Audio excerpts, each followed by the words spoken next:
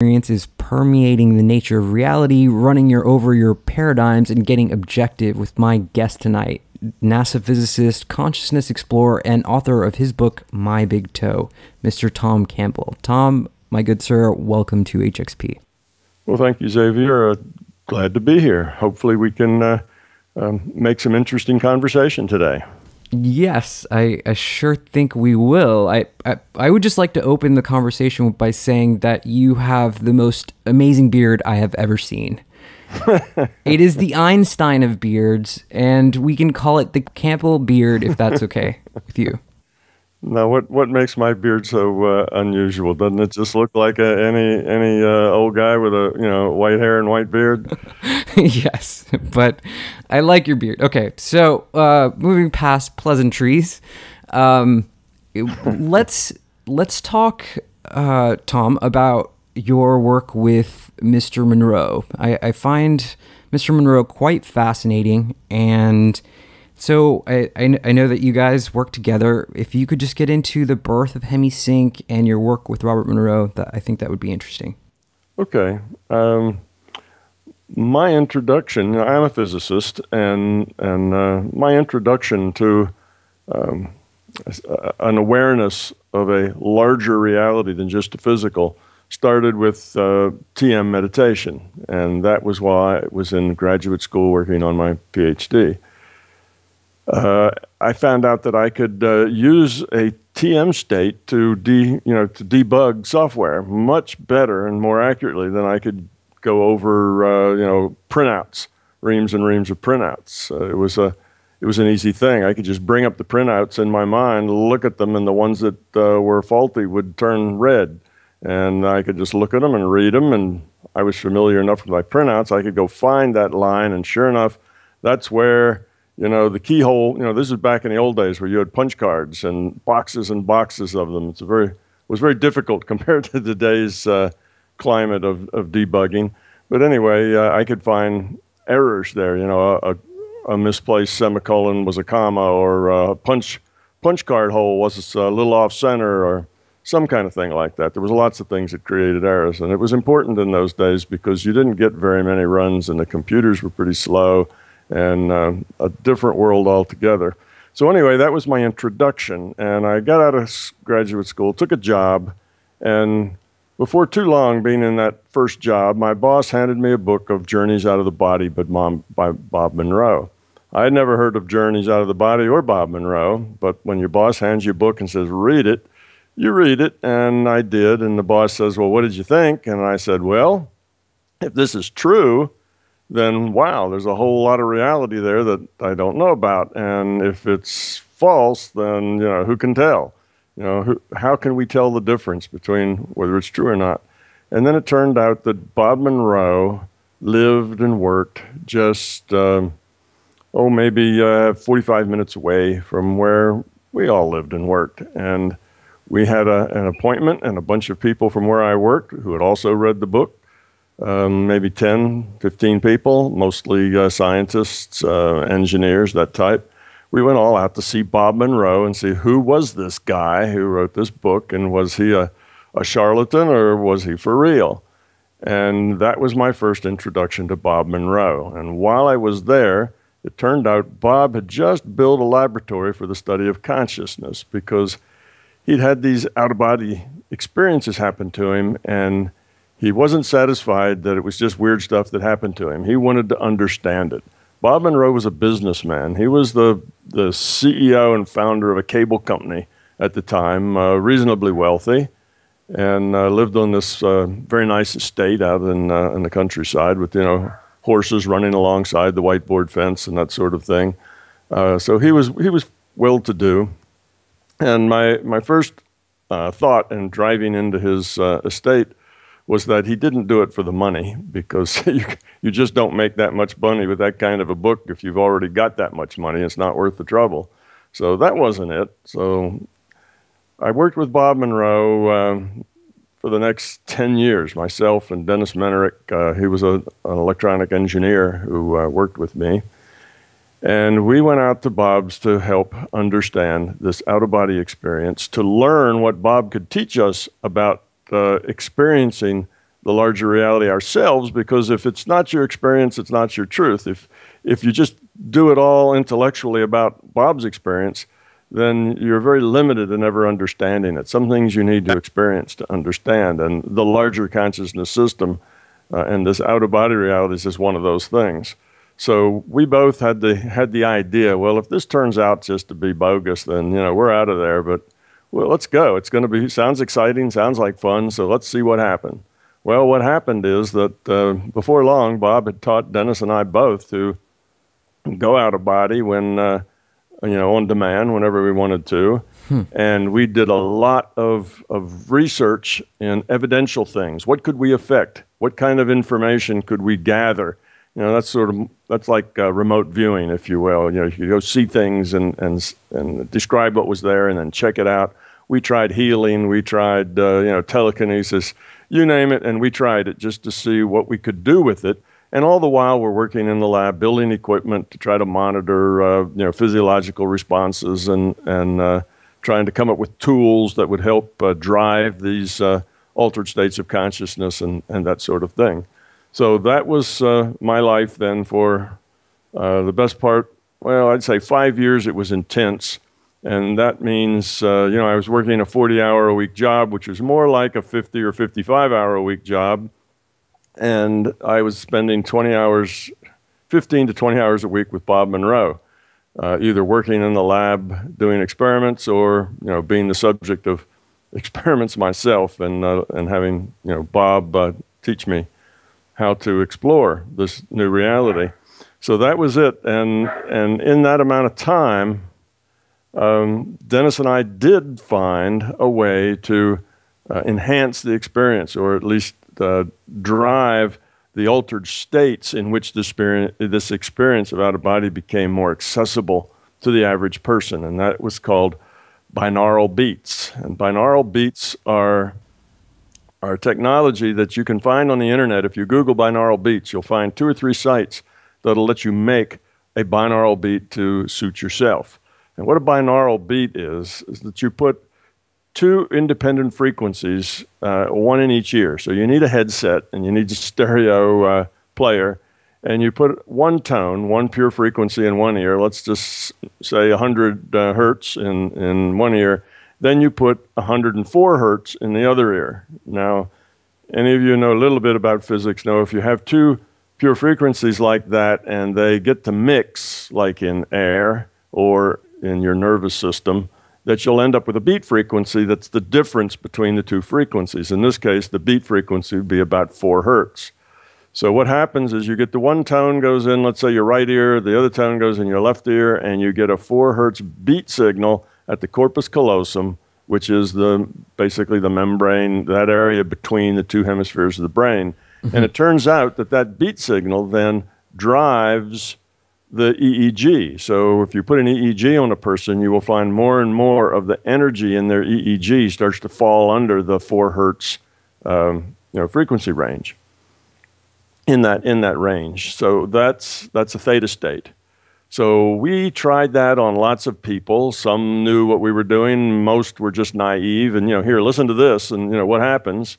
And we were we had EEG on them and GSR and other sorts of uh, monitoring equipment, and then we talked to them about what their experience was like, and so on. And, and we, we, we realized that this was really a pretty powerful um, tool that would help one get into what I guess we might call a good meditation state. And by good, I mean a very productive one, one, that, uh, one that's useful um, for, uh, for then focusing one's intent and healing or traveling or doing what else you wanted to do.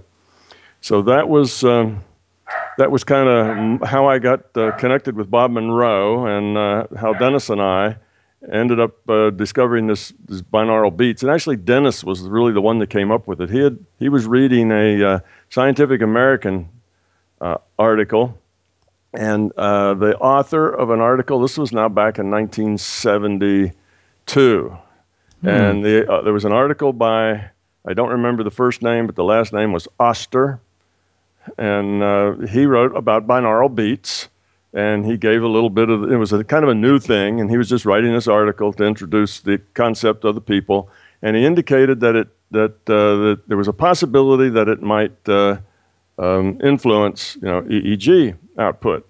So Dennis saw that and said, "Okay, here's something for us to try at the lab," because we knew this four hertz was a was a um, a signature that Bob Monroe got as he left his body. He would get this vibration of four hertz. So that was one fact we had to work with, and we thought we would try to um, you know encourage that four hertz beat. And if your whole brain uh, and nervous system was oscillating at four hertz, you know maybe that would be a way. We didn't know, but we were in a cut and try experimental mode to see what happened. So it, it worked uh, pretty well. Dennis and I played with it for another week or two by ourselves because Bob was out of town. So we had to optimize it. You know, what's the base frequency? Was it four hertz or four and a half or you know three point you know seven five or what? And at what amplitude do you play it? Um, a lot of other variables that we we went through to try to optimize the effect of the uh, entraining brainwaves. And when Bob came back, we played him the the, the tones and uh, he was very impressed with it as well and began to add some of his own sounds to it, which were mostly uh, relaxation sounds, you know, like surf sounds, that, that kind of thing. But, but the surf sounds actually weren't real surf. They also had like four hertz uh, white noise. Uh, white noise. Well, it's more like pink noise. Uh, pink noise is, is white noise with the high the high end cut off, so it's not quite so jarring. It's uh, it's a little softer sound. So it was a pink noise modulated to four hertz, and and actually it had kind of a delta wave in there too. So that's what we had been using before we, we found these binaural beats. And afterwards, we had that original sound with the binaural beat laid you know, into it. They were, they were put together in the same track. So that became HemiSync. And HemiSync is a signature technology of Monroe Laboratories. Bob Monroe uh, got a patent on that. And it has probably changed and modified many times between then and now. So it's not necessarily the same hemisync that you'd listen to if you, you know, bought a, a current tape uh, from the Monroe Institute. But that was the beginning, anyway, of, of, um, of hemisync. Yeah, I definitely suggest anyone listening to the show right now to check out A, Robert, uh, Robert Monroe's work and his books, and B, uh, Hemisync if they can, just because I personally used HemiSync for about 10 years, uh, just as I was beginning my meditation phase, and it really helped quite a lot. So, getting the history of that is is very intriguing. So, how did you move from working with uh, Mr. Monroe to develop developing a theory of everything? How does a person do that? Well, uh, being a physicist, you know, I'm a I'm a scientist kind of through and through, and and as a physicist, my my job is to understand reality. That's what physics is. It's you know how does the world work. So that's what physicists do, and that's where my mindset was. So once I understood that reality was bigger than just this physical reality, and then I understood after being with Bob that I could explore that with some, uh, um, uh, let's say, some regularity. In other words, I could I could produce altered states pretty precisely and go to the same states and do the same things in the same way and try to eliminate all the variables that I could and then change one variable and see what difference it made. You know, so I could do experiments in this space. So I began uh, very early, probably after a year or two uh, at Bob Monroe's, early in the process. My job, kind of in the group, was theory. You know, to understand what went on. How could you explain it? What's the connection between physical reality and this larger reality. What is the larger reality? Uh, where does it come from? What does it do? Why is it there? How do we relate to it? You know, et cetera, et cetera. All the questions about trying to understand what is it and how does it work.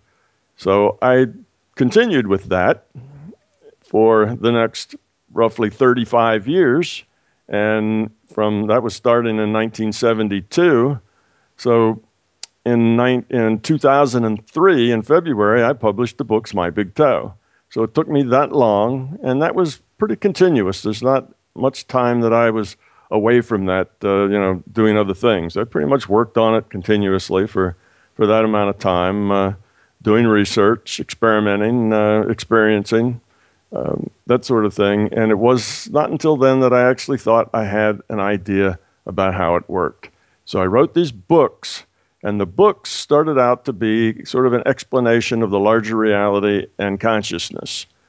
And that was more metaphysics and philosophy than physics, although I knew that was the bigger picture, and everything else had to derive from that. But I really didn't understand how that might happen. I just kind of I, I knew that that was you know the way it had to go. I call it a big toe, a big theory of everything because it was the foundation. Consciousness is the fundamental thing, and everything else is derived thereof.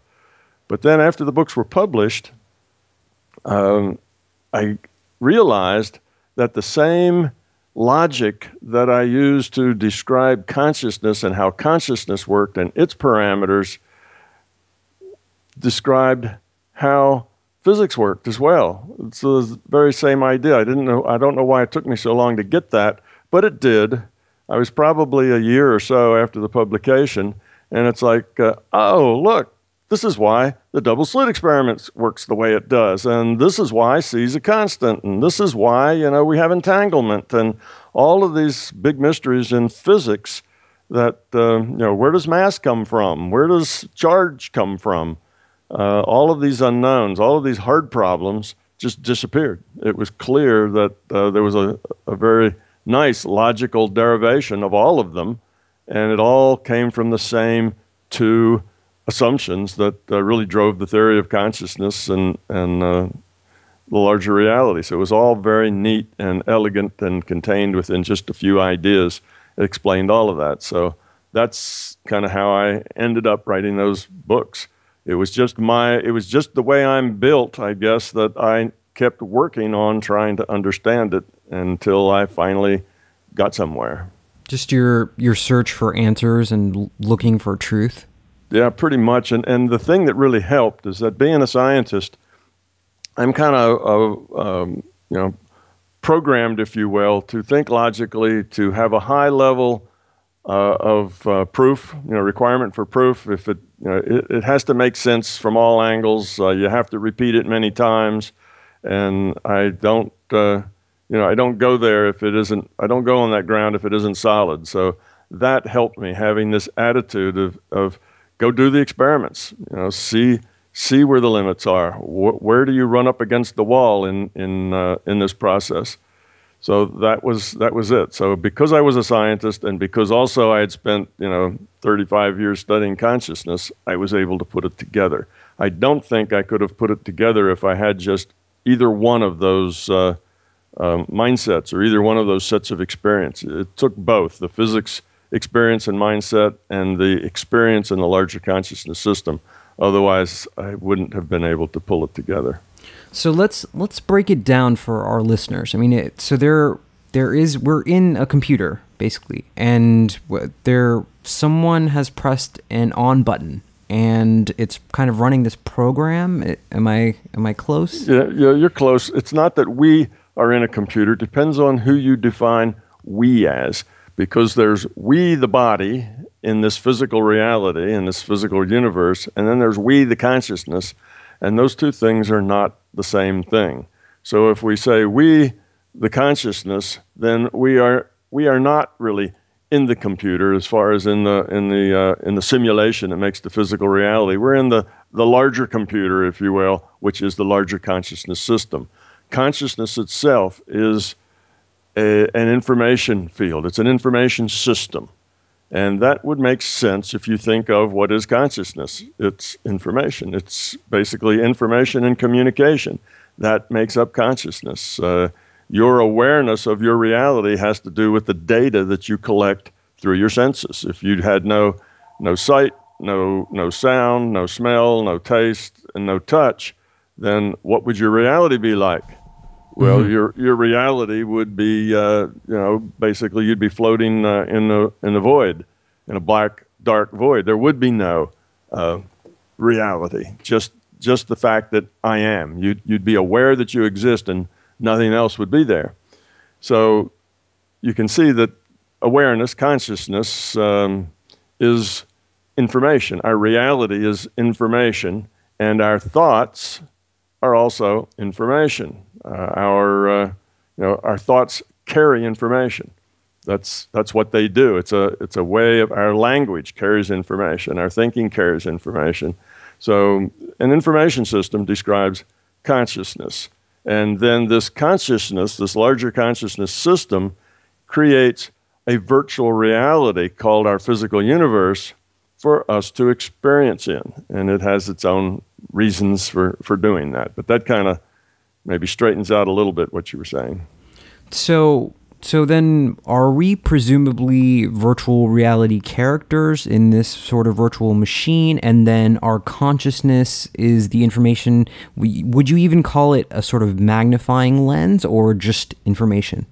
No, it's a it's a uh, a subset of the larger consciousness system. Our consciousness is a subset. You know, we're a piece of that larger consciousness system, and it you know our consciousness, of course, is information processing, memory, um, you know, all of all of that experience. We have all of that stuff that defines us. All of the choices we've made, all of the experience we've had, kind of define us as who we are and, and our our uniqueness. But think of it uh, in this, with the same model of, say, the World of Warcraft. In the World of Warcraft, say you, you're playing a, an elf, or The Sims would be the same sort of thing where you're playing a character. But let's say World of Warcraft, you have an elf.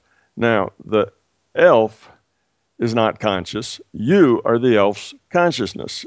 If you don't give that elf any direction, if you don't tell it what to do, it just stands there and does nothing. Maybe it wobbles around a little bit, but it just it has no, you know, it has no direction without you, the player.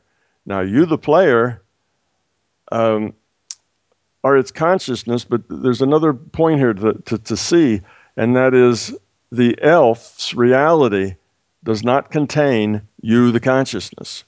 The elf's reality and the elf's body and the rule set that defines World of Warcraft creates constraints on a data stream that is passed to you, the consciousness. So you sitting at your computer receive a data stream, and you interpret that data stream as the World of Warcraft world. But you cannot be inside the World of Warcraft world. You, the consciousness, must be in a separate reality frame outside of the virtual reality in which you're playing. In other words, the elf in World of Warcraft will never find a building that has the server in it that's creating the World of Warcraft. you see, mm, yeah. the, the World of Warcraft, the server that creates the World of Warcraft, can't be a part of the World of Warcraft world. It has to exist outside of that world. It has to exist, as Fredkin said, in other. That's just someplace else other than the World of Warcraft world. And why is that? Because a simulation can't create itself. You know, it, it can't. That's like third grade logic, right? A, a, uh, you know, simulation can't create itself because before it created itself, it didn't exist to create itself. You see, that's a, a, pretty simple idea. There is there an intelligence within this larger consciousness? I mean, is it? Yes, it's consciousness. It's uh, you know we're intelligent. It's intelligent. Uh, intelligence basically comes from learning from your experience, and this is this larger conscious system has a, a more vast experience than we do. We're just subsets of it, and the subset never contains all the information of the superset. So it's a larger thing than we are altogether. But yes, it is intelligent, it's aware, it's conscious, and it has a you know it has a um, a mission, and that is to survive. When you talk about information systems, you have you know, two uh, different extreme states, then you are, you're suspended somewhere between them. And that is, if every bit in the information system is random, then there is no information. There is no awareness, there is no consciousness, nothing. There's just random bits. There's no structure, there's no meaning, there's no content. So, content requires uh, structure, it requires uh, um, order, if you will, it requires pattern. And that is how physics defines the word called entropy. High entropy means um, randomness. You have high entropy if you have a lot of randomness in an information system, and you have low entropy if you have a lot of content or a lot of structure. So entropy is a matter is a measure of disorder. More disorder, high entropy, less, less disorder, or more order, and you have low entropy. So an information system, and this is just standard uh, you know, information science I'm talking about now, an information system then can, can be described in terms of its entropy, how evolved it is, how much information it has as opposed to randomness. So the system is a is a an aware evolving system. It's changing, you know, as as we do. We're evolving, it's evolving, and what it has to do to maintain itself is it always has to put forth effort in order to uh, not dissolve into randomness. And that's something that takes effort because if you don't do anything, if you just sit and there's no maintenance, there's no effort, then randomness happens. And you know, entropy happens and you start to uh, disintegrate. You start to come apart, dissolve. Your order begins to go away. So constant effort is, is needed. And what this system is doing, it's evolving and it's evolving toward more functional information and lower states of entropy. And it's, it, has to, it has to keep working. Now, we're pieces of it, so that's what we're doing too. That's the overall uh, uh, dynamic here is that the whole system is trying to lower its entropy or maintain its entropy and lower its entropy. It, uh, it does that by its choices. If it makes good choices, you know, it has choices. We're talking about an information system that's sharing information, and we're pieces of it. So it's this interaction between subsets of itself, and how it interacts requires choices choices of what to do and what to do with the information you get and what to do about what to send and, and uh, so on. If those choices are choices that help build and, and produce and create more structure, more information, then that's on the path to evolution. And if those choices create more randomness and uh, you know tear things apart, then that choice is you know on the way toward de-evolution for the system. And we are in this physical reality as pieces of the system uh, put here, or I should say, playing here, in order to have a reality frame with enough rules that we get good feedback on the value of our choices. What are our choices doing? You know, what kind of choices are they? If there's no rules, then there's no way to assess what it is you're doing. So we need uh, we need rules, and once we have rules, those rules define a virtual reality. Now, I'm kind of skipping around in the in, in the theory here a little bit, just trying to get people up to up to speed. And there's lots of things I've left out. Okay. But but anyway, that's kind of you know it's kind of where we're going. So yes, we're in a virtual reality. Yes, we're consciousness. Consciousness can't be in the same reality as the virtual reality that it's playing in. Uh, you can't be in the same reality as your elf. You have to be in a different reality than your elf. So you are a piece of consciousness. You are not uh, in this physical reality. In other words, your, your consciousness is not derived from the physical reality. So how how does free will play into the aspect of growth, learning, and the information system? Okay, well, there's a few things that that information system needs to be conscious, and the, the way we, we start is with a system that uh, is just awareness, and it's not really conscious yet. We can call it primordial conscious if you like. It's awareness, and that awareness can do no more than be aware that it's in state one or state two, you know, state A or state B. So it's a, and this is just an assumption. We start there that there is such a, a thing, such an entity that can tell whether it's in state one or state two and we have to start there. It's not a uh, that's not a, a, a flaw or um, an assumption that um, kind of starts in the middle. I can we'll talk about later about the limits of knowledge, and it, it requires such a start.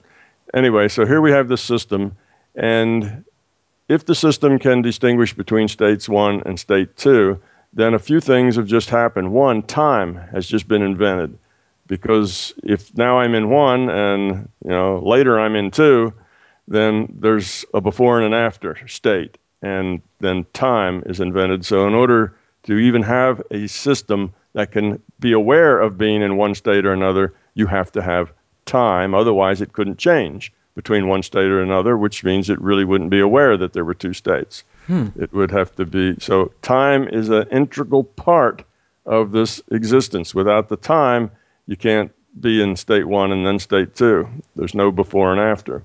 Now, the thing evolves. So, this is a, a system and it evolves. And as it evolves, remember, it's, it's creating information. If it goes to randomness, if it loses its idea of these two steps, then it's back to randomness. There's, there's nothing there. So, it evolves and it gets lots of this state, that state, the other states. Um, multiple states, lots of ones, lots of lots of twos or A's and B's, and it can uh, then put those in a in patterns, and it can make patterns of patterns. So we have an evolution going on here with this with this system, but it gets limited after a while. So what it can do is just one monolithic thing.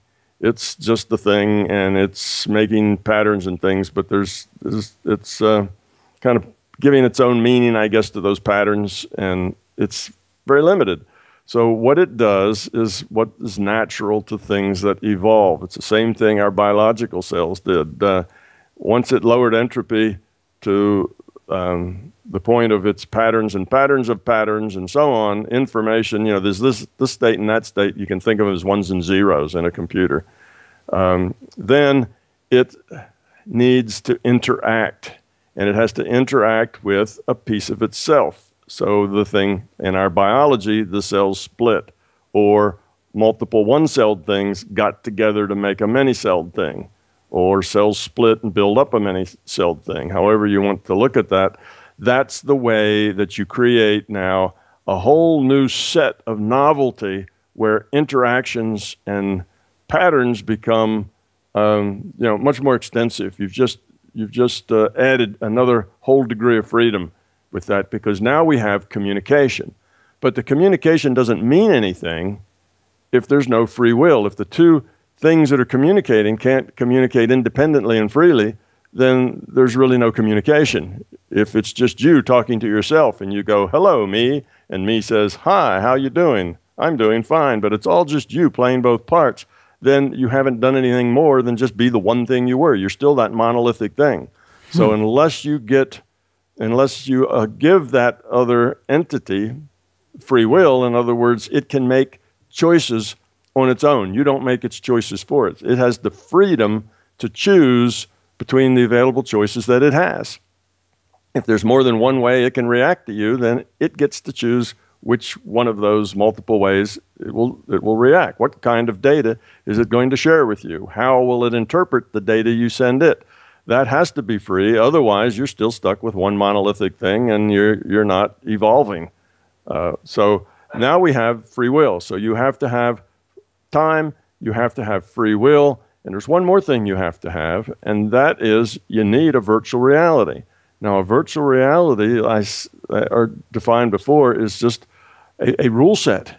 You know, it, you have information, and if you have a rule set, you can create a virtual reality based on those rules. Like the World of Warcraft is based on a rule set that defines what the elf and all the other characters and things can do. The elf cannot walk through a tree. The elf falls off a cliff. You know, it does get hurt. The elf stays underwater too long. It will drown. It will die, um, and so on. It's because there's a rule set that defines the constraints of exchanges, of interactions between things. Okay, so what rule set's required here? It's communication. You have to at least defi- make the rules that define a basic communication protocols so that these two, uh, these, these two entities, these two pieces of consciousness can talk to each other, can communicate, pass data back and forth. So you need a, you know, what we would call a, a language. Now, this is not a spoken language, obviously, but you, you need a, uh, the protocols for communication. So those are the things we need this, we need this um, basic prototype of consciousness that is, has awareness. Time is awareness between two states. Free will is required so it can interact with something other than just itself, so that it has something unique to interact to, because when it does, there's lots of novelty and lots of new ways to construct and build and, and make patterns. So that's in its path to evolution. And then you have to have a virtual reality, which is a rule set that creates the ability to communicate. So that's all these things are necessary for consciousness. If you take any of those away, then there is no consciousness. So consciousness exists. All these things get, you know, exist at the same time. They're all logically necessary for each other. Are there more advanced, uh, less en- entropy systems that uh, information systems that exist more efficiently, higher planes of existence? Uh, no, I wouldn't say more efficiently. Um, there are lots of other virtual realities. Our physical universe is not the only virtual reality. There, there are many. Some, some of them are uh, have very loose rule sets. There's no, there's no more rule set than just the communication protocols. You know, at that point, the, the virtual reality is like a, uh, you know, a big chat room that has, let's say, 100,000 people in the chat room, and there's no other rules other than, you know, how to communicate that you can type and it gets displayed. That's, that's the rule set. Well, that makes a very, uh, um, very loose, very minimalist rule set uh, for a virtual reality. And then there's virtual reality like ours that uh, has a rule set. Or let's, let's say a minute, uh, just for a minute, how our reality is made. Our reality was created not by planting a programmer planting every tree and rock. It wasn't programmed, it evolved. So it was given some, you get to take some initial conditions and hmm. a rule set. Now, those initial conditions are, at our best guess at this time, was a very, a very small ball of plasma at extremely high energy and high pressure. And that plasma, when the run button was hit, that plasma changed according to the rule set. So the initial conditions were set up this, this plasma of various type, and you hit the run button, and and it starts to change. Because of the pressure it expands and as it expands it cools and as it cools you get suns and then planets and solar systems and then you get an earth and then you get a cell that evolves to be us sitting here talking over skype. So that's the that's the uh, that's how our physical universe is created it's created as a simulation it is evolving and it continues to evolve it isn't uh, programmed like World of Warcraft. So we have this this virtual reality, and it's evolving. And why did we need it? Because if the point of this this uh, well, I'm going to back up one one more step that I that I need to make all this coherent, and that sure. is when you have a social when you have a a uh, system of individuated units of consciousness that are communicating with each other uh, and you do this, like I say, in order to give more, more, uh, more degrees of freedom, more things that you can construct that way, then what you end up with is a social system because it's a lot of chunks of consciousness interacting with each other. That's a social system. If you take a social system, how do you optimize it? What do you do to optimize your social system? What do you do to reduce entropy as much as possible within this social system, since reducing entropy is really the, the goal here to keep this thing going and alive?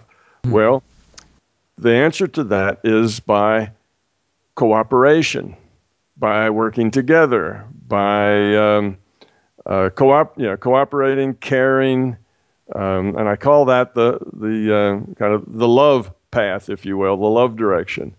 And the opposite of that is what I call the fear direction.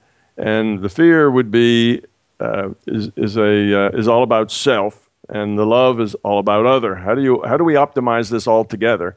Is the, is the uh, love direction. And how can I get as much as I can for myself is what we have in the fear direction. Okay, so in that fear direction, you see, if everyone is out for themselves, and there's no trust because it's you know it's based on fear. It's all about you and me, and I need to have what I need, and then when I get it, I need to keep it so nobody takes it away from me.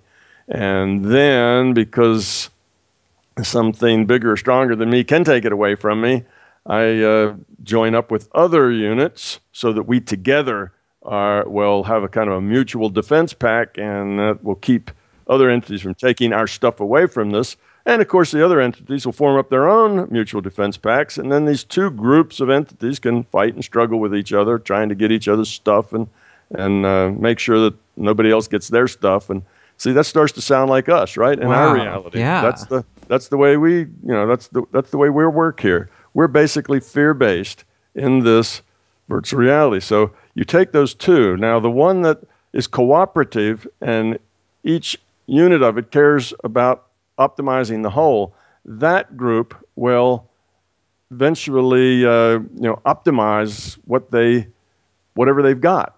They will all cooperate in a way to build as much as they can build. In the other one, it'll never get but so you know low in entropy because there's always somebody tearing something down because somebody else has something you want well then you know they've built something up you tear it down or you take it over uh, you build things up other people tear it down it's a constant struggle um, to uh, and competitive world in which it's very difficult to uh, cooperate but so much because hmm. if you you know, cooperation to, to be really effective requires trust. And if there's no trust in a fear-based world, then there's really it's hard to cooperate. It's hard to get together. It's hard to build. It's hard to find investors because it's um, you know you might lose your investment. So so do these do these separate? Would you call them systems or are they just? Uh, I mean, how would you define these two subsets? And do they do they move apart and then together? So the people or the entities that kind of dwell around fear, would they kind of collect together and then same with the ones that are around love? No. It's not that these it's not that these two various subsets were created. I'm, I, my description was just to, to show or just to point out that we have an entity, it's broken itself into pieces, it's interacting, and it's doing this all to reduce its entropy so it can stay alive and exist. Ah, right. You see? So then, how does it do that?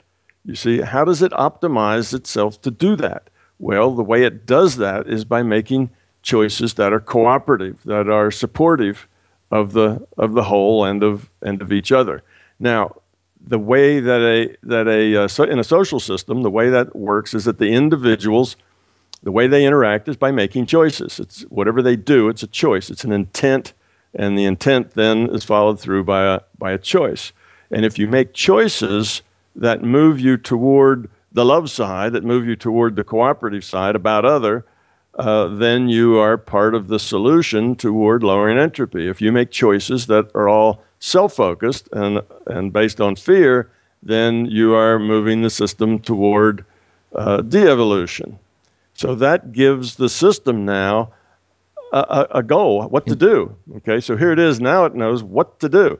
It needs to, to give its pieces experience that helps them evolve toward love because that's how it survives.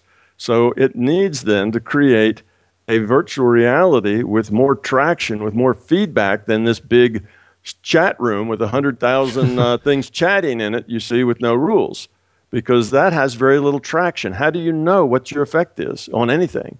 Wow. And, how does, and how do you know what you're getting? Is that just made up or is it true? There's no traction there, you see. Yes, you can pass information around, but it's a really slow process of understanding how to make choices such that the system survives. So you need a virtual reality where you have a rule set, a tight enough rule set where the feedback from your choices is pretty obvious. You know, what, what you are and how the choices you make makes a difference. And those consequences are right there in your face. You deal with them. So that's the kind of virtual reality that's been created with this um, set of initial conditions and the rule set and you hit the run button. And of course, that rule set is, is our physics. It's basically the rules of how things can interact, how energy can be exchanged within this virtual reality. In this computation, this virtual reality is a simulation, an evolving simulation. And it was created to create experience where choices could be made with feedback. So, our virtual reality, our physical universe, is kind of the fast track in consciousness evolution because we have all these choices. But you, you know, if you look at it, yeah, we're still pretty fear-based, but we've got a long way to go, and we're making progress. But you know, you start at the beginning and you you work on it. And we are not the only such um, what we might call, you know, this virtual reality. You can call it, uh, you know, an entropy reduction trainer for individuated units of consciousness. We're not the only uh, entropy reduction trainer going on. There are others. the system wouldn't put all its eggs in one basket. It would uh, it would uh, tweak uh, parameters and the physics, you know, the rule set a little, and maybe the initial conditions. You need to get something that's stable and and and functional. So now we are we as consciousness are very much like we as the as the player in World of Warcraft. Consciousness doesn't exist in the physical uh, virtual reality. The physical virtual reality we call our physical universe just sets the constraints on what you know what the uh, consciousness can experience through that avatar, through that being. Just like World of Warcraft rule set sets the constraints on what you can experience with your elf.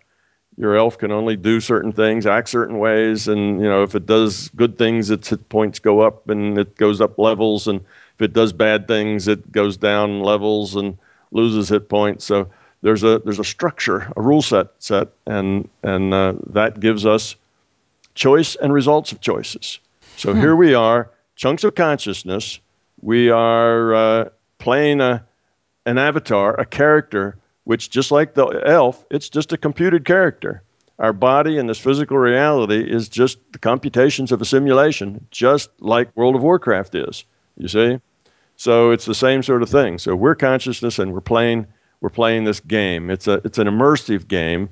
We actually we talk about ourselves as an individuated unit of consciousness. That's kind of the accumulator, if you will. That's the that's the the larger us, and a piece of that is immersed in this game, is a player in this game. So uh, your your body's just like the elf. It's a it's a computed uh, entity, and you get a data stream from the server, which is in the larger consciousness system outside the physical reality and the data stream is constrained by the constraints of the rule set of that virtual reality. Hmm. So that means that if somebody sneaks up behind you, your, your avatar, and hits you over the head with a lead pipe and causes brain damage, what that is, is it, it increases the constraints on that character. Now that character maybe slurs its words and drags its left foot because of the brain damage. You see, so it just increased the constraints.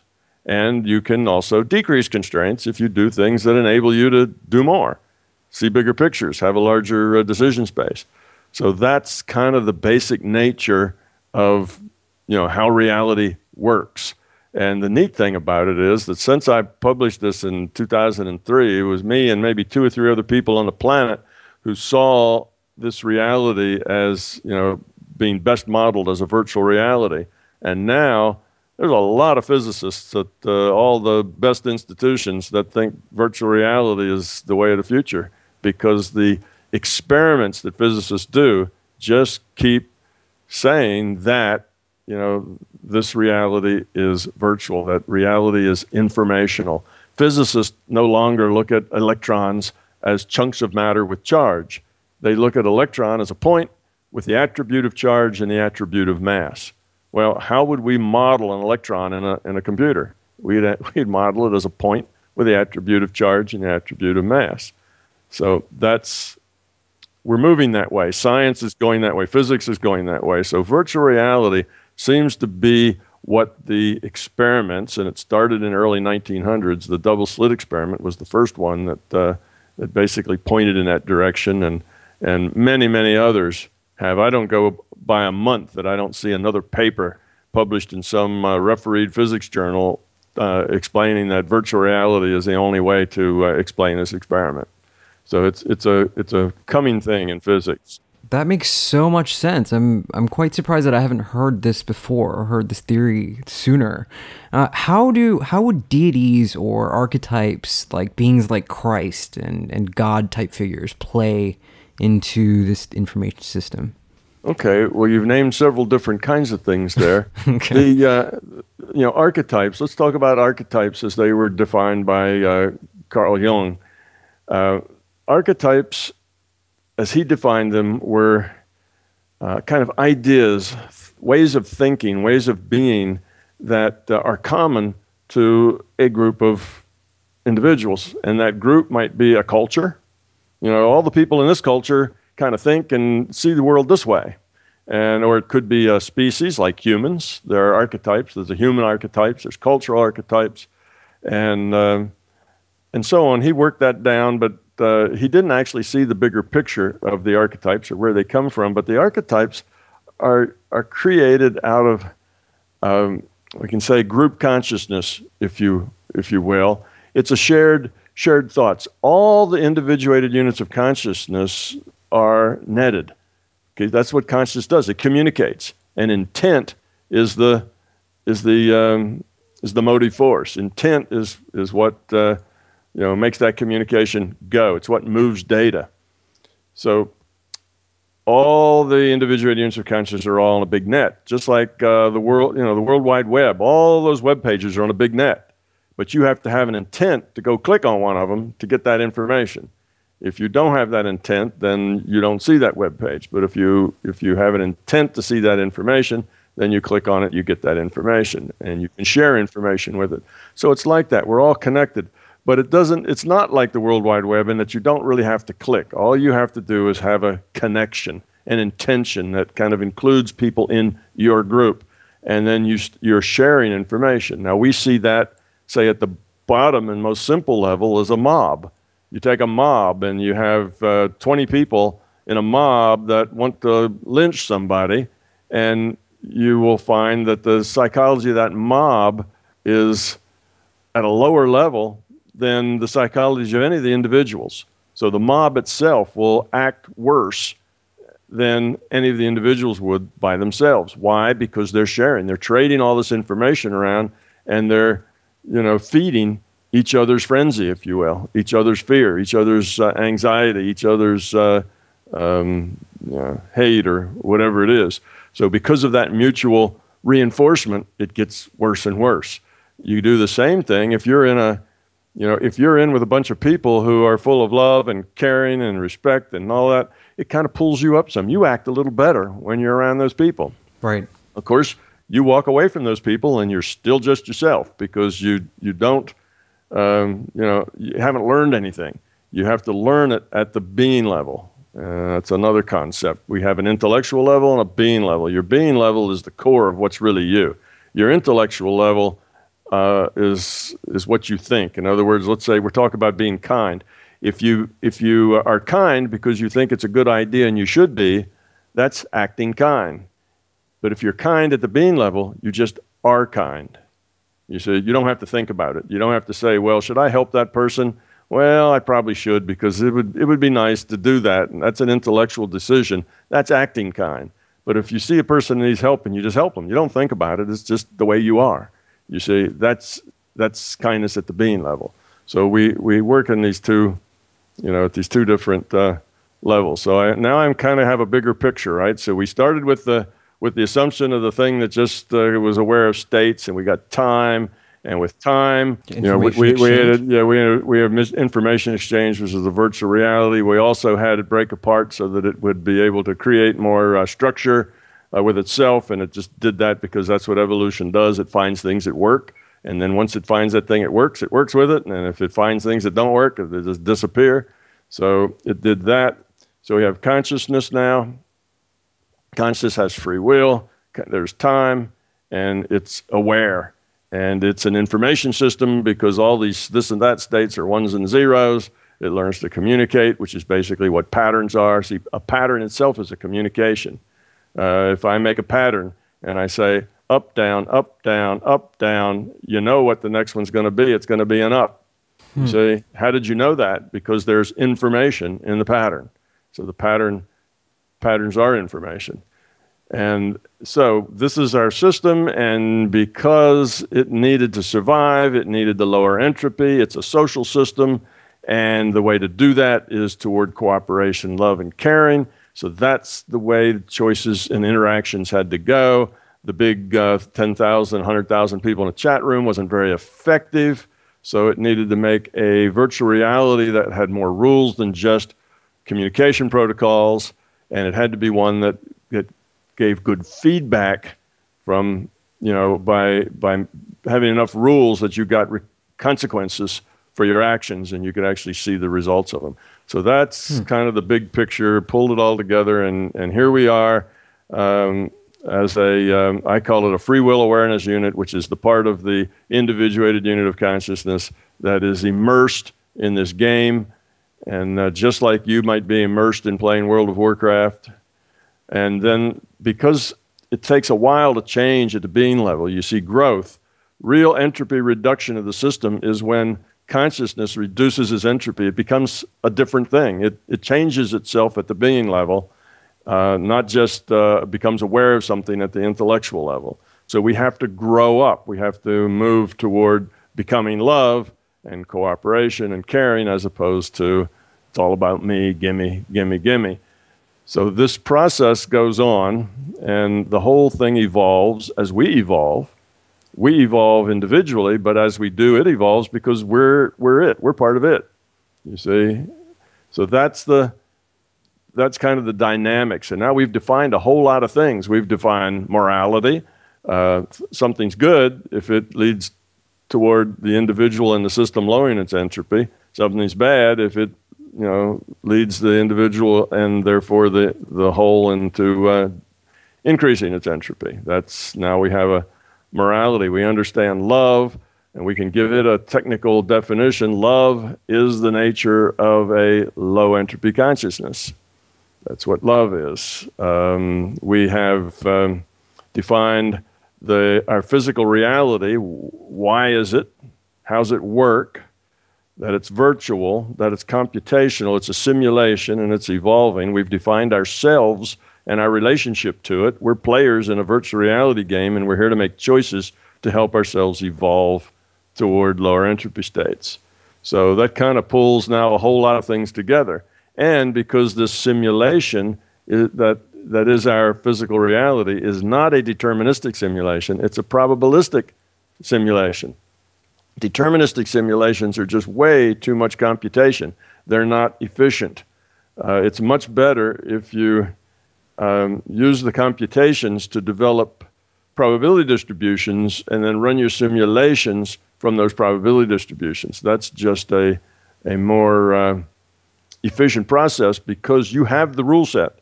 The system has, it, it's the system's rule set. It knows all the rule sets, so it can do the the calculations to produce the probability distributions that describe the way you know action unfolds here in terms of probability. Are there are there rule sets that can purposely alter or hinder the growth of certain subsets of systems? For example, could could my choices be limited because I don't have money? How how does how does the macro system assure that growth within the system itself occurs.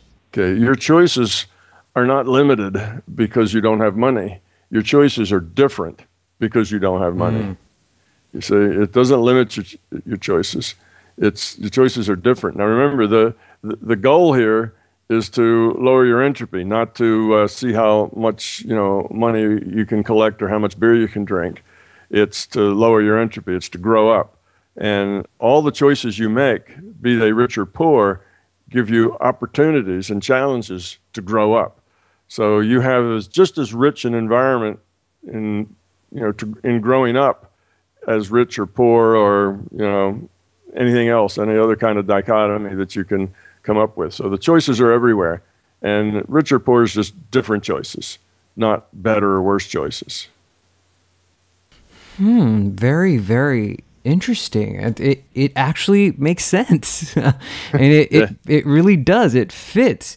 So how does how does synchronicity and metaphysics like picking up on energy and perceiving information before it's available how does all of this stuff uh, other stuff kind of work in okay well one of the interesting things about this is that what's normally seen as paranormal turns out to just be normal once you have a bigger picture. Paranormal means outside of normal. You know, it can't be explained by normal, normal uh, understanding.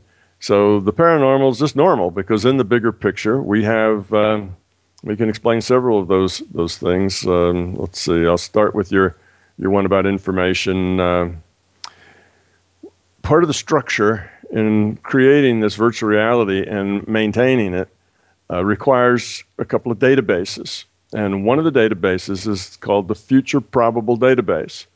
And the Future Probable Database is a database of all the things that could happen in the next delta t. Okay, the next delta t means the next little increment of time. Okay, we're in a we're in a simulation, so time is the outer loop. Time uh, uh, jumps up one increment, and then you recalculate everything that's now in that time. And of course, choices are made. We have free will choices, so choices are made, and the next delta t, then you know those choices get uh, you know uh, happen. So that's the future probable database. Everything that could possibly happen and the probability that it might happen. So you may have 10 choices. You may have a decision space, and there's 10 different things that you could choose, way that you could go here. And there's a probability based on your past performance and you know who you are and how you've done you have a probability of which one you'll choose. That means that the system itself can can kind of keep current on what's going to happen next so it can be ready because it's got a lot of, of uh, data streams to service and it doesn't want to wait and get surprised. It, it works on a probability basis so that it can do probably 90 98% of its work just based on probability and, and then around the edges you know we do things that, that aren't probable. We, we can sometimes just do strange things that uh, our free will enables us to do and then the system basically has to recalculate that effect forward rebuilding the, the a new uh, probable uh, thread along that, that action and all the things it interacts with. So that's one database. And then we have our history database. And our history database is I, I, break it into two parts. It's just one database, but there's two ways of looking at it, two sections to it.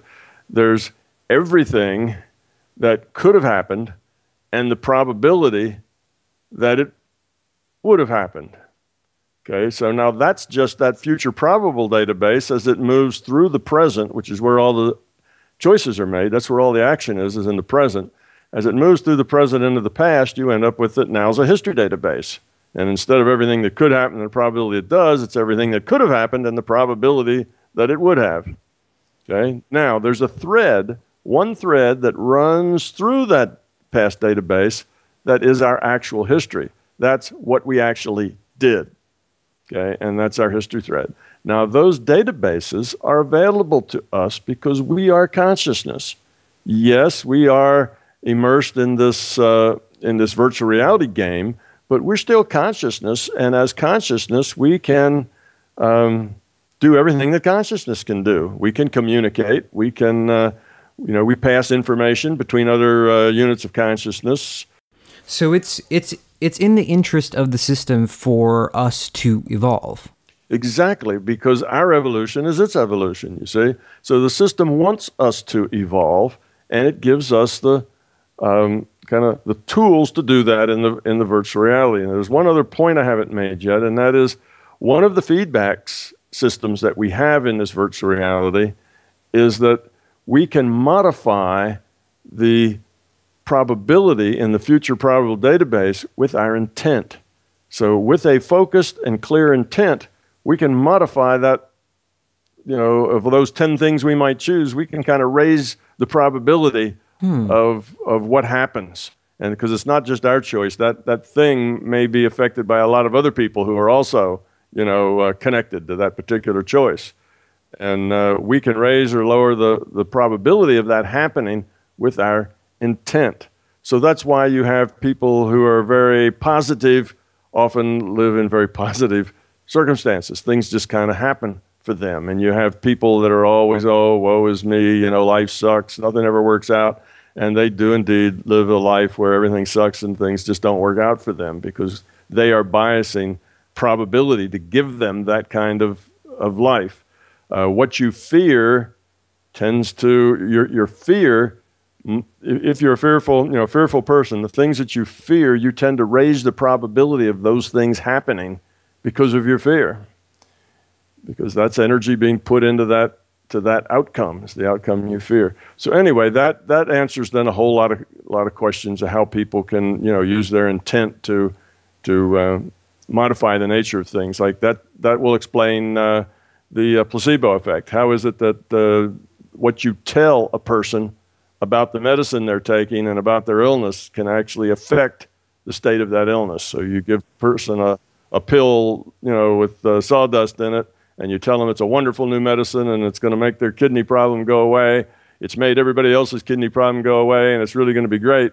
And you'll find out that even though they've had no medicine whatsoever, about 35% of them, their kidney problem, you know, goes away. It helps. Um, uh, compared to a control group that aren't told anything. They're just given the sawdust and said, "Here, eat this." You see, so the the control group should have as many just random events coming and going as, as the other group, but we find a statistical significance that that uh, the placebo effect is a real effect. Indeed, placebo effect is law. You can't sell a drug unless you can you can uh, beat the placebo effect. So there's a paranormal phenomena that's a part of our legal system. So, anyway, we go back to these other things. So, you can get into these databases if you use your intent as a query and get information out of the, about the probable future. Again, it's only probable. And you can get information out of the database that's historical, including all the things that could have happened but didn't, as well as the things that did happen. And all the information is there. And when I say all the information, I don't mean like information you're used to in a book. I mean, every uh, think of a character, think of yourself and the history that's that's being piled up there for your choices. It would be all of your feelings, all of your attitudes, all of your thoughts, all of your emotions. It's everything about you, because all of this is part of the information system. You see, so it's a complete uh, description of the event, including a description of you and your moods and what you're you know being level is doing and what your intellectual level is doing and all of your intents and feelings and all the rest of it goes so it's not just a record of what happened and when it happened it's the full it's the full record. So we can get around in those those things. Um, now uh, what about uh, people who have precognitive dreams? It's one of the things you mentioned. Well that's just getting into that uh, database and seeing what is possible and what is probable and if your intent is focused, you can do a, a, you know you can go in there with precision and get information. If your intent's real foggy, you get you know real foggy results. It's like in Google, you know Google Google love and you get millions of returns. You know, and a lot of it's garbage. Uh, same with a sloppy uh, intent uh, in the databases. So you need precision, and often you get something that's not quite what you wanted, but close, and then you have to you have to uh, modify your query to make it more specific. And so it's the same kind of uh, process that you, you need to go through. So, uh, what about mental healing? Well, that's changing the probability of a person's illness. If you heal them with your mind, it's not, you know, none of these things are really particularly hard. Anybody can learn to do them with a little practice. Um, what are some of those other things you mentioned? Uh, oh, synchronicity. We have synchronicity because as you said, our success is a system success. So if you are a person who is aware, then the system can feed you nudges, can give you information, can kind of help things happen to give you the challenge or the information that you just happen to need. So if you're such a person and you walk into a bookstore, suddenly your attention is just riveted on a particular book and or it's it's just like the book jumped out of the shelf into your hand sort of thing. You know you just walked over and grabbed that book. For some reason it was just one book among a whole lot and you don't know what that reason is but you just did it and it turns out it's something that's really important. It's an information you really needed to have. Those kinds of events are called uh, you know synchronicity when they happen. They're synchronous events that things that just happen that that if enough of them happen to you you realize they're not random because they have um, specific, significant meaning to you. It's not just a random event that, well, yeah, you know, I walk over and grab books out of libraries, and you know, half the time they're useless, and the other half the time, you know, they're okay. But you know, that would just be randomness. But when you live in a world where there's synchronicity, it happens to you daily and all the time, and you realize that it can't be random because it's too one-sided to be random. So that's where synchronicity comes from. The system wants you to wants you to succeed and can nudge you to uh, go on a particular path that would be good and challenging you to grow in ways that you need to grow. So we have that, but now it's not going to force anything because there's free will and it cannot interfere with your free will. So a nudge is all you're going to get. And if you won't if you won't accept that data, if you can't use it and can't process it, then you won't get it. So there are some people that just uh, can't be nudged because they just blow it off. Oh, I have to go over and grab that book. Well, that's stupid. Why would I want to grab that book? And they turn around and go the other way, right? Because they just can't process that data. And those are the people that have never had a synchronous event. They've never had a precognitive dream. They've never uh, heard someone else talk in their mind, you know, telepathically. And they don't have these kinds of experiences because they can't use them, they can't process them. So, wow, wow. So, how would we use information that perhaps causes us problems for our benefit? Um, I'm really just I'm absorbing everything that you've been saying, and it's it really is a lot of information, huh? Yeah, we have just barely scratched the surface. How can we learn from the things that present us problems? I mean, if if the system really does want me to succeed, wouldn't it be feeding me these sort of success stories, you know, on a consistent basis? Or is there also a learning mechanism, yeah. an evolution mechanism involved? Well, yes, you have to you have to learn. The system is not trying to lead the witness. You know, when it does the synchronicity, it's not trying to lead you into making choices that you otherwise wouldn't have made. Now it's interfering with your free will. You can't grow up if it's not really your choice. You see, you have to make it. It has to be your own choice made out of your own being level, out of the out of the core of you. This is what you're like. This is the choice you make, and then you get consequences. Now, it can, it can kind of give you some information, it can kind of point you in a direction, but you have to actually use the information and go in the direction. You know, you have to be able to process the data and use it. So if there's something, uh, you know, if there's something going on in your life that is causing pain and uh, dysfunction, then that is a good sign that what you're doing and the choices you're making are suboptimal, that they're probably fear based. And this pain is a challenge for you to, uh, to be different, not just to act different, but to be different.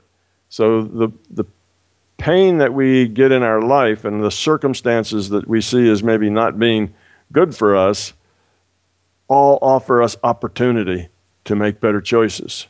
You see, first we have to take responsibility for all the choices we make. And most of us don't take responsibility for our choices.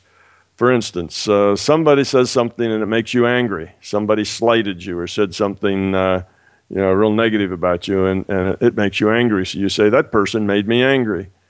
It's not true. You chose to be angry. Hmm. that person created a situation where you had choices and you chose to be angry.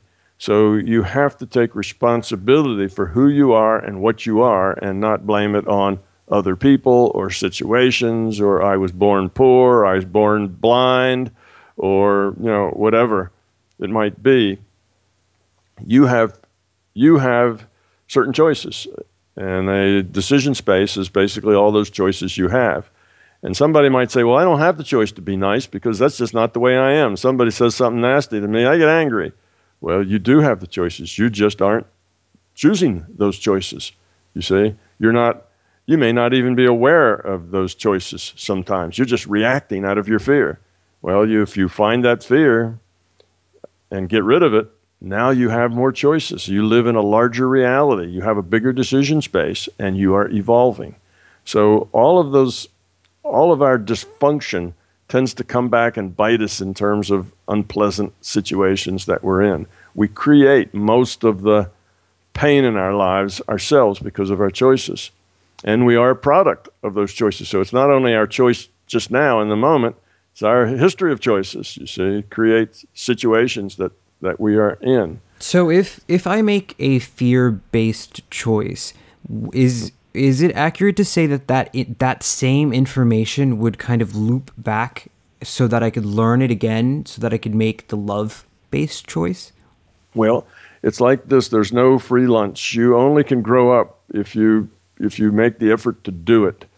Um, if you make a bad choice, then you just haven't learned that lesson. There was an opportunity to make a better choice, and you missed that opportunity. well, what happens is you get to try again and try again and try again, and you just get to keep trying again with different kinds of choices and different sorts of uh, scenarios and situations until you grow up. And if that takes, you know, a long, long time, then it's just going to be a slow process of growing up.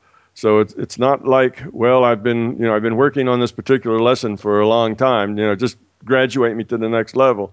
That doesn't happen. You have to the only way you get to the next level is to grow up.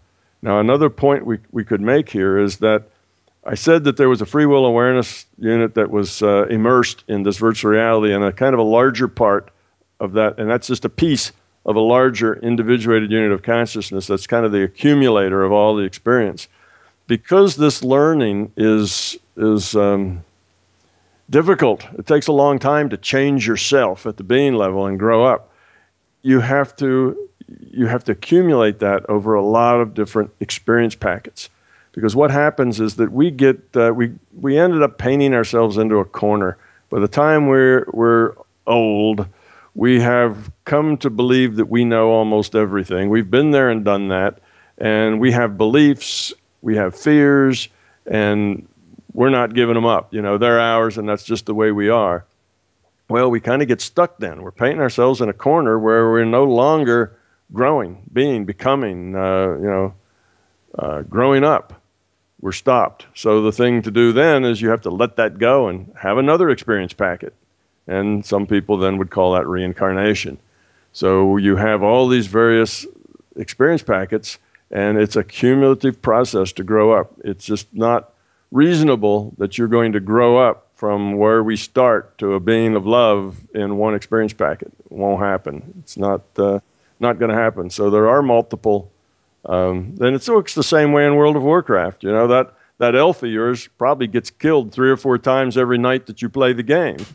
because it's just the way the it's just the way the game is, right? And uh, it you what do you do? You go to the graveyard and, and you know have so to start over. We, how do we win the game? Is that I mean, is that the goal? Winning the It- game? We we no, we don't win the game. It's the process that's important, not the not the end goal. It's the growing up that's important. You don't win the game. You just get better and better at playing the game to where you don't need pain to hit you between the eyes with the two before to get your attention to grow up your life becomes full of joy and satisfaction because now you can grow up without the pain. You know, you are kind of past that that part. So it's just getting, um, you know, we just keep growing up. The things about you know entropy is much like infinity in that sense, is that you don't get to zero entropy. You can only get asymptotic toward it. In other words, you can only approach it, but you never get there. You can never actually get to infinity Infinity is just an abstract concept. It's not something that is real or can exist as real. You can just approach it. You can get bigger and bigger, but you can never actually get to infinity. It's an impossible thing. So the end is not fixed. It's not like you get to a certain point and bingo, you win and you're done and uh, you've won the game. Hmm. It's a it's a uh, a process that goes on because this is an it's evolution. Remember, the larger consciousness system is not a fixed thing. It's evolving. It's changing. It's becoming. It's different to, you know, today than it was yesterday. And we are evolving and changing. This whole thing is a dynamic process. Evolution doesn't quit. Evolution will, as long as there are choices to be made, then evolution will keep on turning. It'll keep trying things, and the things that work will, will you know, go on, and the things that don't work will die out. And that's what it does. And in this virtual reality, there's tons of, of uh, choices and ways to go and unexplored paths and ways of being and relating that uh, we haven't explored yet. So evolution uh, is open ended, and so is our existence. But the good news is it's not always tough, and it's not always full of pain, and it's not always stressful. It gets to be a lot of fun and, uh, and kind of a joyous trip.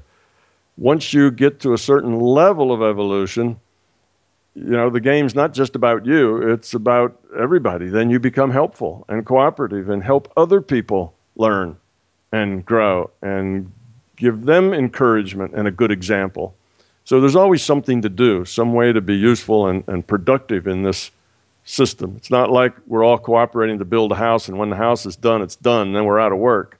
this house will never get done because it's about us growing up. Growing up's a, a slow process. And I should say the system is not infinite and it's not perfect. It's a real system, which means it can't be infinite because infinite systems can't be real. And it's not a perfect system, it's just a system that's evolving and it has rules and structure. And sometimes these rules get violated. And sometimes violations get dealt with, and sometimes they get away with it. It's just, uh, you know, it's a, it's a real system. It's a good system, and it works well. It's very efficient but uh, it's not. So you're you are an experimenter. I'm sorry to interrupt, but you, mm-hmm. you I mean you experiment.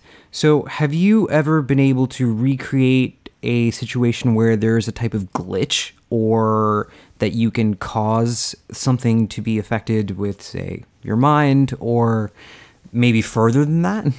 Yeah, you can you can uh, you can cause things to happen with your mind because you can modify the future probability. So mind can affect what happens. That's we we all do that in some ways. That's why the reality that we're in, it's reality that we see. You know, just look at you know look at the news, watch the TV, uh, go out and walk around, and and if you you know what you see is the way it is because of the way we are. It's a very accurate representation of the quality of humanity our average quality is is basically represents the the average stuff going on out there. So if you look at uh, you know that that uh, terrible government, uh, that bad dictator, that uh, you know terrible money system, and all the things that people you know complain most about, that that's the problem. Well, the reason that's that way is because we are the way we are. You see we create this reality. It's our feedback, it's our intents, it's the way we interact with each other. So, what you see is who we are. And the best way to fix it is to grow up individually because then that helps uh, you know you grow up and you become a you become a light to others and help others grow up and that's how you fix it if you decide well i can fix this system i'll get rid of that nasty dictator and put in somebody better that may be civilizing and it may make things better for a while, but what you're doing is treating symptoms, not fixing the problem. And just like our, our medicine today is mostly symptomatic medicine, we don't, you know, our, our doctors often aren't treating core problems. They're not treating causes, they're awfully, often treating symptoms. You see, they just give us something to make us feel better, make the symptoms go away, while the body actually does its own healing. That's our typical medicine. So we fix that money system, we fix that dictator, and we've done a symptomatic relief, which might make everybody breathe easier and give us more time to cogitate and, and uh, meditate. But basically, we've just changed a symptom, we've, we fixed a symptom, and that symptom will reassert itself. It won't stay fixed unless we change because it, that symptom's there because it reflects us. There was there was a there was a scene in The Matrix where I guess it was uh, Mr. Smith, and he was. It was when uh, Morpheus was was kind of captured uh, by the agents of the Matrix, and Mr. Smith is is talking to Morpheus, and he says that the Matrix was the way it was because because humans needed the, the the the suffering aspect of it to learn that the the Matrix had once been a sort of utopia, but mm. humans had rejected it because it didn't work for their learning. Right. Well, it wasn't so much their learning. It, it, they they weren't good batteries. Remember, they were using the humans as batteries to power their system. Right. And that's what the humans were. They were actually all of them little voltaic cells uh, uh, providing power, and the humans didn't do well if they didn't have the if they didn't have the struggle. They they weren't good batteries then because they all just kind of you know um, they weren't challenged. Didn't Mr. Monroe fi- find out that we it, this was a sort of battery type system? I I think it was in uh, Ultimate Journey where he. I think in his journal it said that he was pretty depressed after he found out and he stopped projecting for a while. Uh, that was the thing about Loosh that you're talking about. Yes, yes. Yeah, Um, yeah, I remember when Bob wrote that because he was discussing it with uh, us. He was discussing it with me when he wrote that. He said, "You know, I've been out and here's here's the stuff I found." He was he was telling us about it, and I didn't have any sense that he was really uh, depressed afterward. He seemed to he seemed to be just just fine, but uh, it was a it was a big thing for him, and you have to you have to realize that what you get you get in a data stream when you're in an out of body state it's just like being here. You're in a different virtual reality. Okay, it's not the same physical universe virtual reality, but a different virtual reality. You're still getting a data stream, and you still have to interpret that data stream based on your own history, based on your own uh, experience, you know, your your own data, your own data set, your own experience data. I guess would be a good thing to say.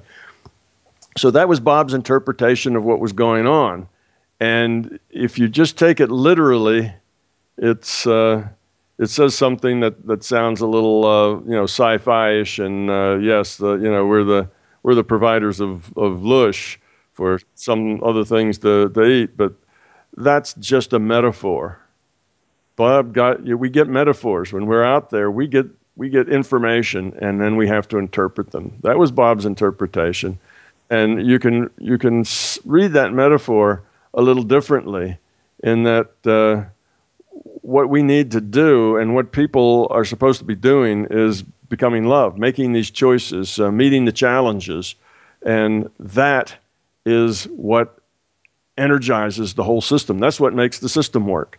That's the, uh, you know, that's the fuel that keeps the information system alive, if you will, is the fact that we are lowering entropy. So the fuel is us lowering entropy. And if you make that the you can kind of see where the where the uh, metaphor is going. It, it's not quite the, uh, the, the, same as, as if you take it literally. So that's really what was, what was happening there. Uh, one other question you said, well, what about spirits and gods and, and that kind of thing? And, and uh, so I would say that the larger consciousness system then becomes what theologians talk about, right? Theo is, is about God, right? And the larger consciousness system is our source. It's our creator. We are subsets of it, so you might say we're made in its image. Um, it uh, has all the data, so you might say it's omniscient, although that's not really true. There's things going on that it really doesn't know about because it only knows like we do with intent. And if its intent isn't there, then it's not paying attention. Um, it, um, it is, it, it is uh, trying to help us succeed because our success is its success, so we get synchronicity and other such things. So there's a lot of characteristics there that sound pretty similar to what various you know religions might say about about God. In fact, I was I was in a um, a talk, and at the end, uh, two theologians came up. I was doing this at the Atlanta uh, church in in uh, Atlanta and two theologians came up, and I asked them, I said, Well, tell me uh, the attributes of God as you understand that concept. Just what are the attributes? And they thought about that for a while. And between the two of them, they listed uh, kind of a, a, bunch of things. And all of the things they listed uh, were, were not things that had to do with uh, creed and dogma and, and, ritual and that kind of stuff. It was all, they were, this was a unity church, so they were a little more. Uh, um, I should say, a little less dogmatic than many other religions might have been. But uh, when they were done with their list, all of the things they said were attributes of the larger consciousness system. You see, so that then becomes becomes the uh, you know that is our our creator. That's where we come from. That's us. We are consciousness, just like it is consciousness. We're subsets of it. So um, it's not perfect. It's not infinite. And that makes it a little different than most people's ideas of, of God. There is no ending, it's still evolving, it's in the state of becoming. But that's another thing. When it's a big when it's a really a big toe, then it has to answer questions in theology as well as physics. so that that answers you know questions of theology, and if you look at that, it makes it easy to see what's the what's the dogma, what's the nonsense, you know, what's the uh, the uh, stuff that's that's been added by the people over the years, and what's the real core concepts? You see, and then you can kind of look at the at the theology we have now, and it separates out very nicely as to what's significant and what isn't. So that's another aspect of it. Mr. Campbell, you are one of the smartest people I've talked to in my life, hands down. This is incredible information, man. I, I really, really, it has kind of connected a lot of dots for me that in my own thinking that I kind of had in my mind anyway. And it completes a sort of puzzle. It's eloquent. Yeah, I've, I've, of course, I've heard that a lot. But one of the things that, that's interesting is I've gone a lot of places and given talks, and and most of the time, I'll have somebody come up to me and they'll say, "You know, are you a are you a Tibetan Buddhist?" Because I've studied Tibetan Buddhism for the last 15 years, and what you're talking about is right on. You know, that's Tibetan Buddhism. And somebody else will come up and say, "I've been studying the uh, um, uh, what is it?" Um, uh, there's a some Christian Gnostics. Uh, they tell me the same thing, and then there's the other other isms and things, you know. And I've probably had dozens of these things that I'm just like a, you know, and it's it's it's a whole lot like this and that, and that's the way it is. It, it, when you basically have a bigger picture, you find there's lots and lots of people who have had pieces of that bigger picture, and they all just kind of dovetail very nicely uh, together. And suddenly you can see the connections between them all and see how it all fits into one, you know, to one bigger picture. You see, that's that's kind of that's very neat. And what's doubly neat about it is that that same bigger picture that solves all this theology and metaphysics and paranormal and all that also does better physics. It also is is kind of the future in physics. So it explains things that physics can't explain now. That's that's the neat thing. If it were just metaphysics, then we have this tendency to say, well, we got science on one hand and we got this other touchy-feely stuff on the other hand, but the two really aren't connected. Actually, they're antagonistic with each other, but that's not the case. In the bigger picture, you derive all of it. It turns out that hard science, physics, chemistry, that's just a subset of of the uh, of this this reality, this uh, larger physical, well, what do we call it? The, the larger reality system that's our physical universe. It's just that science is deals with those things in this universe that have low uncertainty. So where there where there's interactions in this rule set that are of very low uncertainty, that's hard science.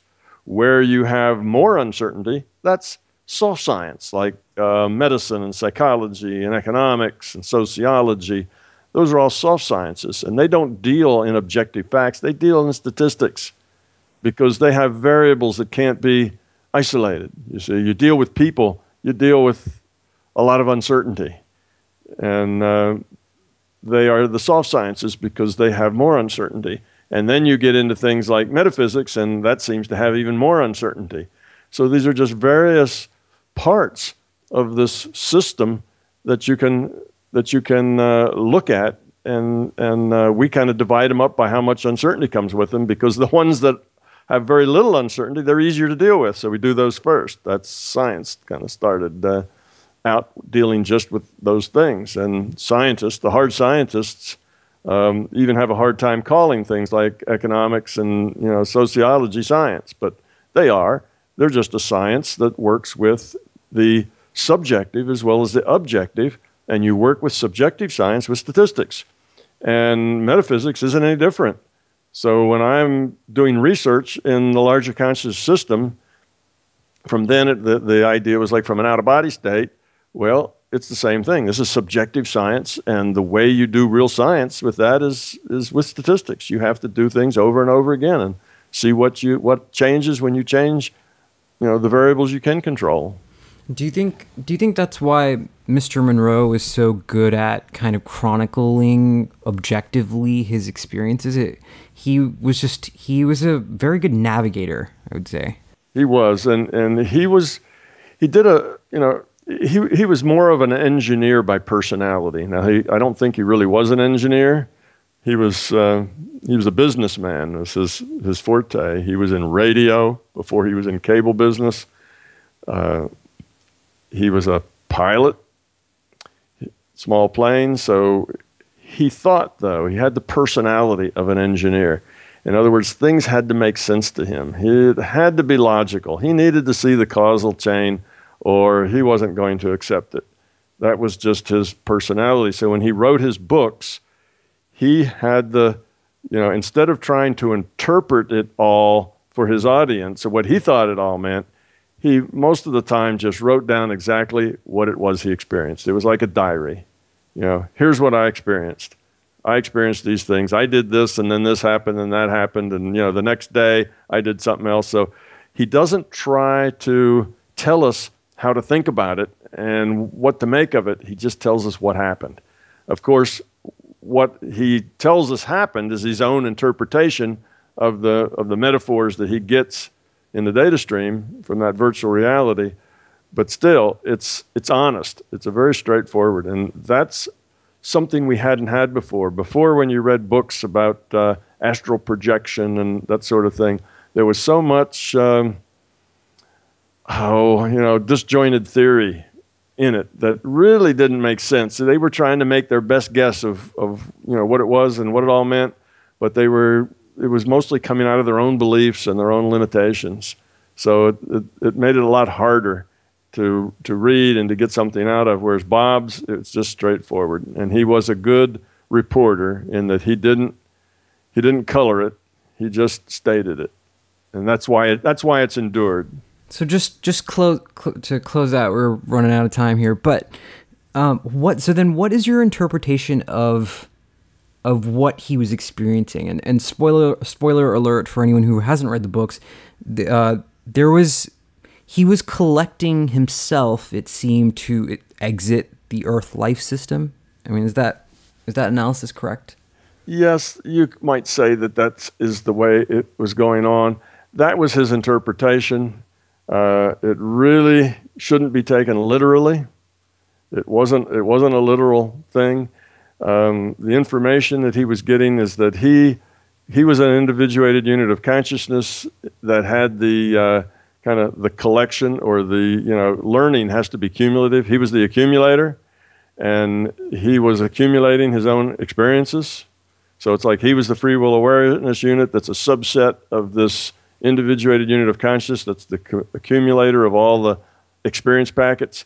You might have a, a free will uh, awareness unit, might be, you know, let's say that's, that's you, and your, your uh, individuated unit of consciousness, some people will call that oversoul, uh, higher self, or something like that.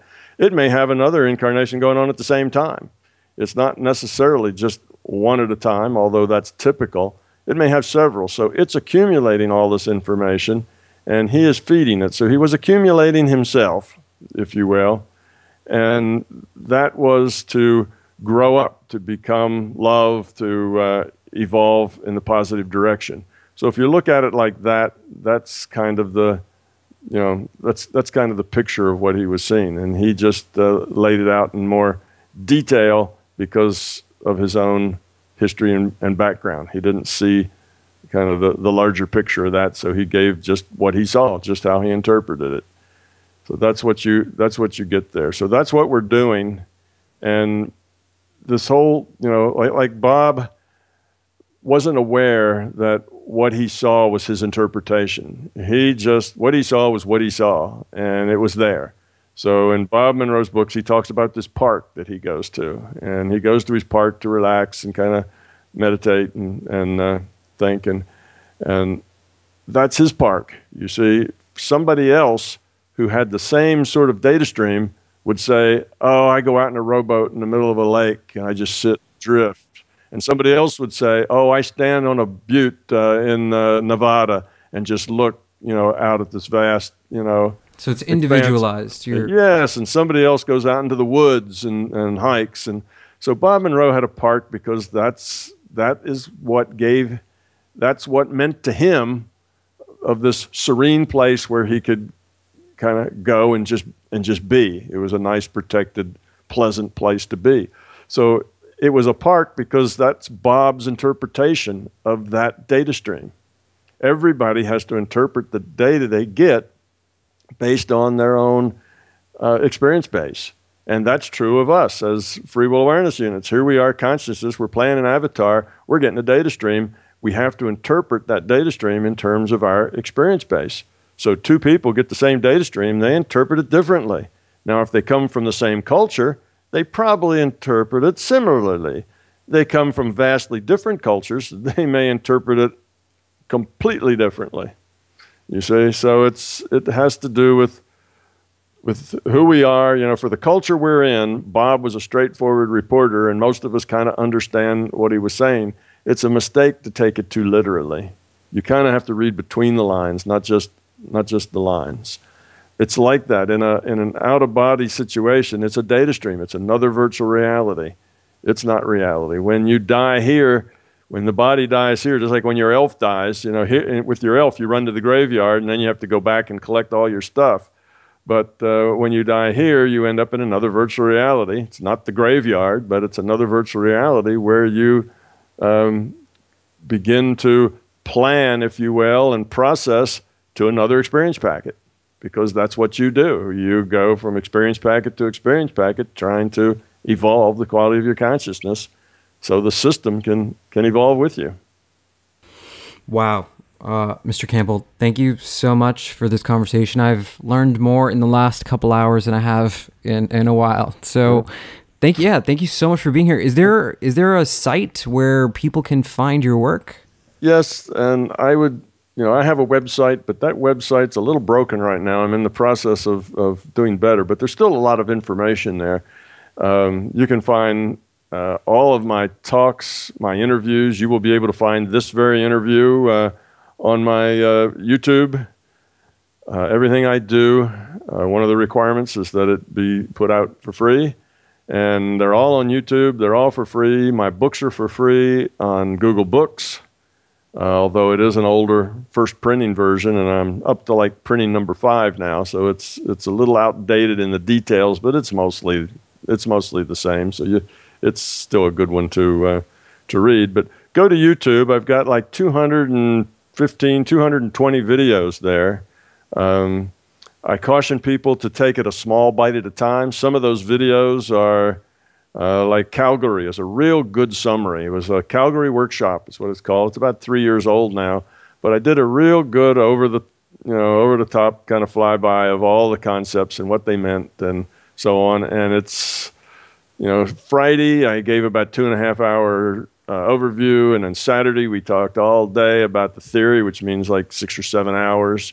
And then Sunday we do uh, exercises in uh, experiencing the larger reality. So I teach people how to, uh, you know, about remote viewing and out of body and how to heal with your mind. And then we do some exercises in healing and remote viewing and so on. So that's, if you take that all together, you're like 14, you know, 15, 16 hours out of that, that uh, Calgary workshop. And of course, that's intimidating to people. A 15 hour video, you know, no way. Yeah. So so uh, take it in like you know 20 minute chunks. That's the good thing about YouTube. You can always come back and pick up where you left off. Yeah. And then you true. can get through. And some of them are short. Some of my things are as short as five minutes. So it's it's just lots of stuff out there. Love it. Love it, man. Well, you guys heard it here. This is the human experience. Thank you so much for listening, guys. This was such a fun episode. Uh, we will check check you guys next week. Thank you.